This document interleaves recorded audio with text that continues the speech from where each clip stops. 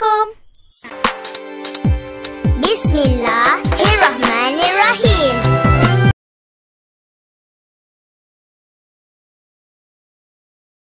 Assalamualaikum. Yes, dear student, we are going to start our reading on pro progressive English book. Yes.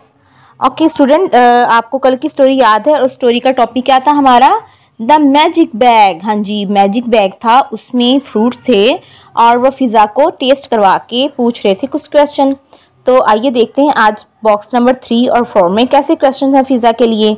Okay let start our reading okay start with me and read with me is is it an apple apple is it an apple अब अली जो happy होके उसके क्या कह रहा है? आहा क्या कह रहा है?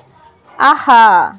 ओके नंबर फोर पे है is it an apple is it an apple yes yes yes it is yes it is आप फिजा एप्पल मज़े से खा रही है और क्या बोल रही है? Mm, क्या बोल रही है?